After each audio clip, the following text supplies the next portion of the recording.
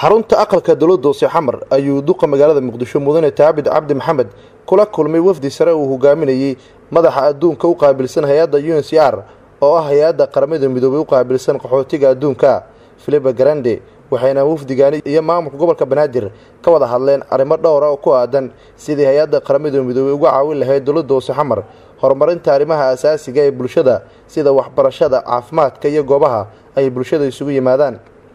kulanka aqalka dowladda hoose xamar ka dhaca kadib ayaa gudoomiyaha gobolka banaadir iyo madaxa hay'adda qaramada midoobe qaxootiga adduunka u qaabilsan u n c r ayaa soo booqday dugsigii dhexe iyo sare ee xamarweyne oo haatan loogu magacdaray dheere xaaji dheere oo ka mid ahaa haliyadii saddex iyo tobankii ee s y l waxaana maanta dugsigaasi si rasmi ah dib u dhiskiisa dhagax dhigay gudoomiye taabid iyo master filipe grande waxaana dhagax dhigaasi goobjoog ka ahaa wasiir ku-xigeenka wasaaradda waxbarashada hidaha iyo tacliinta sare ee dowladda soomaaliya.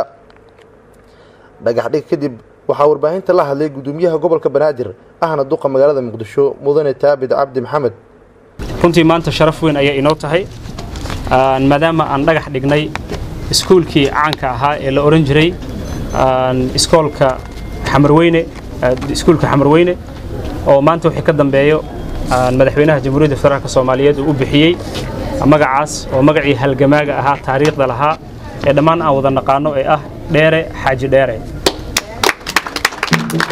Sidoo kalena maamul gobolka banaadir ay ka go'oneed in la helo iskuul lacag la'aan ah. Waxaa dayactir ku samayn doona annagoo kaashanayna hay'adda qaxootiga adduunka shan iskuul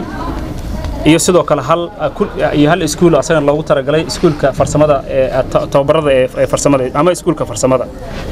iyo sidoo kale afar qaybood oo loogu talagalay xarumaha isugu yimaadaan dadka communitiyada waxaan sidoo kale mashruucan laga sameeyey sida aad ka warrayseen barar hadda kahor ku dhawaaqnay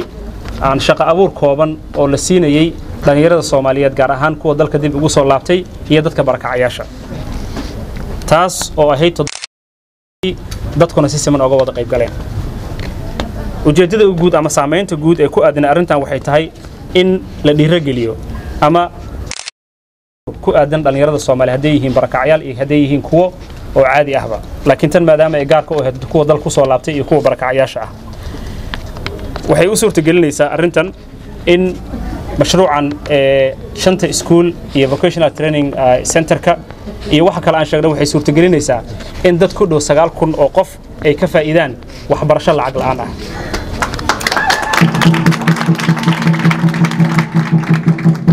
sida aan ognahay degmada xamarweyne waa degmo taariikhi ah. Waxaan dhahnaa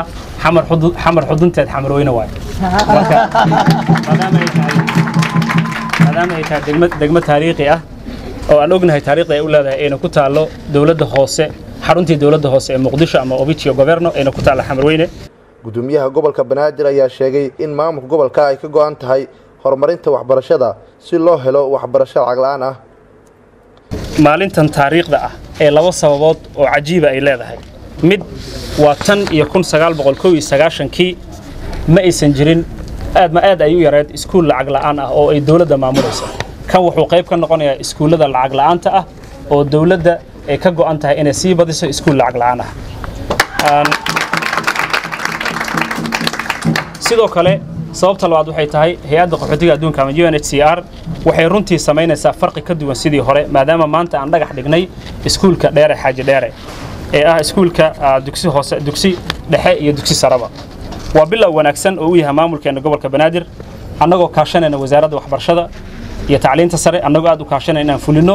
dhammaan iskuullada gobolka banaadir ku yaallo inaan ka suurtagelin in laga helo degmo walbaba iskuulaad lacag la'aan ah si ay dadka u helaan iskuul oo lacag la'aan ah ama waxbarasho lacag la'aan ah. Sida ay dhahaan haddii aad doonaysid qurumo inaad baabi'isid ama aad cirib tirtid. Maaha wax lagu cirib tiro keliya inaad aan hub u isticmaashid ama gantaallo u isticmaashid laakiin bulsho jirtay ama nation jira waxaa lagu cirib tiraa in aqoonta hoos looga dhigo ama aqoonta aan loo suurtagelin inay waxbarasho lacag la'aan helaan. Sidaa darteed in la helo waxbarasho lacag la'aana ayaa waxay tahay in jahliga lala dagaalamo isla markaasna kor loo qaado